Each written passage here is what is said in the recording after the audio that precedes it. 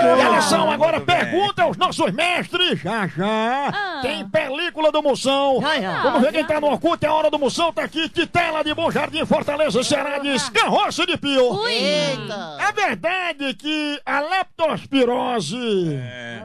Pois não. É verdade, repita. Leptospirose. Leptospirose. Muito bem. Ah, Silviane. tá. A leptospirose é uma doença transmitida ao homem pelas teclas de um laptop.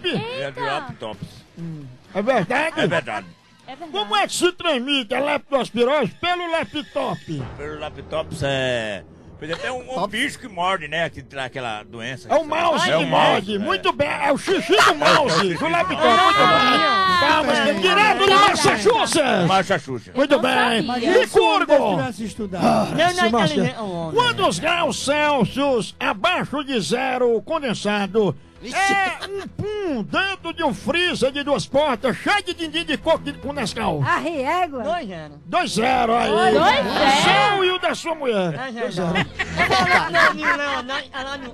Muito bem, e atenção agora, os filmes vem aí para você se assim deliciar, curtir. Claro. Chegando! sala, O Grupo Luiz Seguro Anos apresenta a película do Moção. Atenção, o primeiro filme de hoje é um faroeste. Eba! O nome do filme é Os Pistoleiros Sem Dedo.